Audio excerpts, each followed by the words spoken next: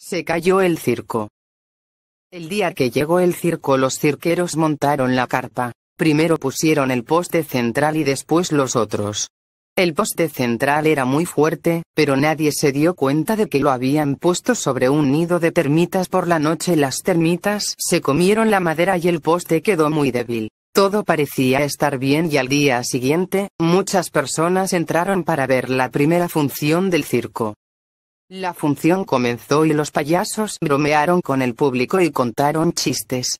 Luego el mago apareció muchas palomas y hasta un conejo, que saltó y saltó para sentarse en las piernas de una señora muy seria. Todos reían a carcajadas al ver la cara de sorpresa y susto que pasó la señora.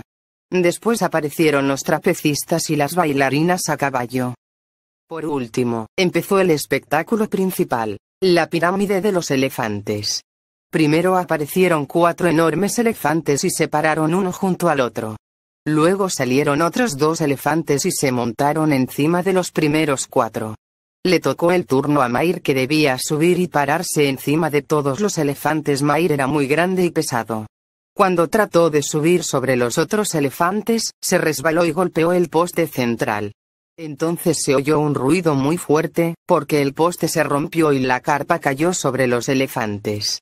La gente salió deprisa mientras los elefantes sostenían la carpa. El dueño del circo estaba muy nervioso, pero después del susto, repartió paletas heladas y palomitas de maíz a los espectadores.